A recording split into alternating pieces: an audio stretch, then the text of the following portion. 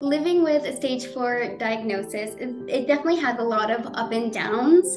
I've been at my lowest points where like I feel like I'm stuck and it's never going to get better, which was never true. I always got through those points in my life where I thought that I couldn't. I am truly living a life better than I could have even imagined, even with cancer. Like I am traveling, I am doing everything my little heart desires. And i think that's a misconception with cancer. Like some people think like oh you, you have cancer your life is over but that's not true. Like my life began after i had cancer and i was still able to do everything that i wanted to. And of course i had to pivot a lot of times because cancer did take some things away from me, but I just pivoted and then found a new path for myself, a beautiful path. Living with stage four is hard, but it's still beautiful.